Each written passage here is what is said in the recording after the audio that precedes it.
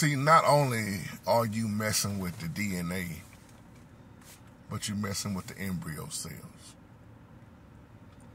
The danger of cloning. The bad things that happen with cloning. See, you need DNA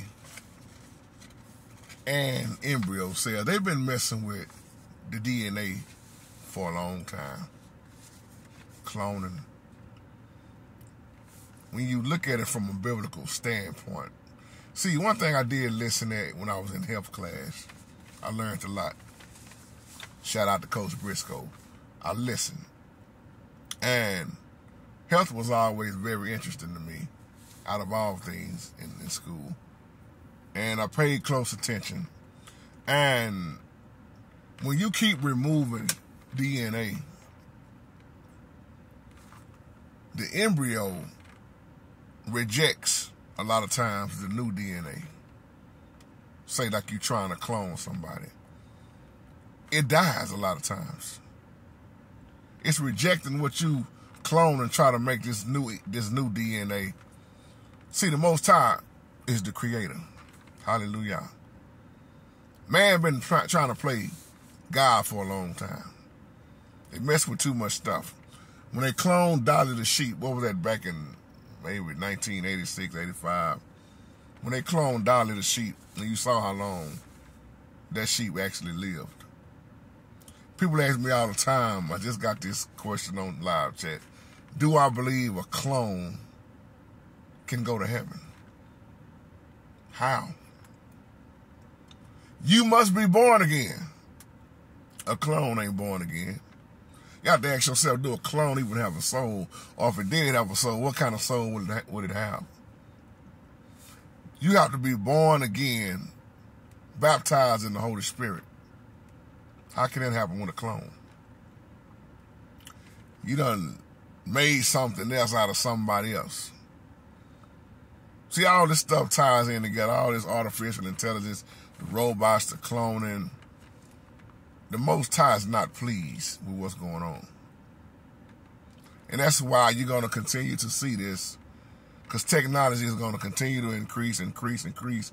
When you go back to Genesis 1, 26, 27, he said, let us make man in our own image, in our, our likeness. That's the Holy Spirit doing that. See, since the devil can't create, he have to imitate. He's a copycat. They've been they've been coming up coming up with things to try to make you have a longer lifespan. While I'm thinking about that, um, prayers to my, my sister Diana on my street. Mama finally passed away, y'all. Mama was 111 years old. She just passed away yesterday. I heard the news. My prayers for the family. Love y'all. My mama lived her life. 111. And when you killing so many embryos mm, just for your purpose, you're killing more and more embryos to obtain their DNA. See, life starts at conception. A lot of people say, no, I don't believe that. This is why you don't even supposed to have these abortions. And then embryos are also good used in a good way um, when somebody else can't get, just say another woman can't get pregnant. And here goes somebody want to donate. I, I, remember studying this years ago. I think it, it costs anywhere from ten thousand to fifteen thousand dollars. This woman can't get pregnant, but hey, keep that embryo.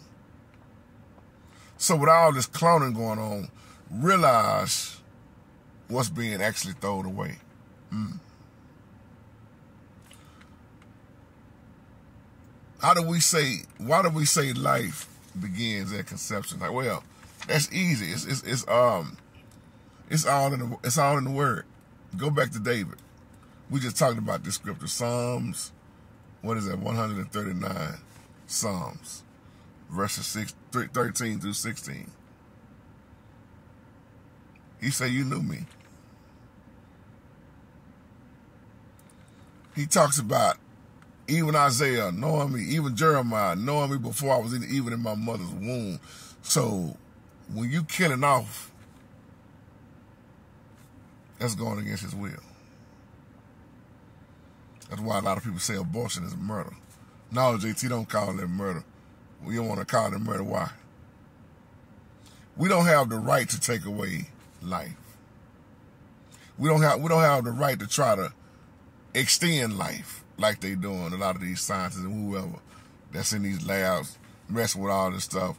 But you got to be born again, not clone. And on that note, I leave. Y'all have a blessed day. Shalom.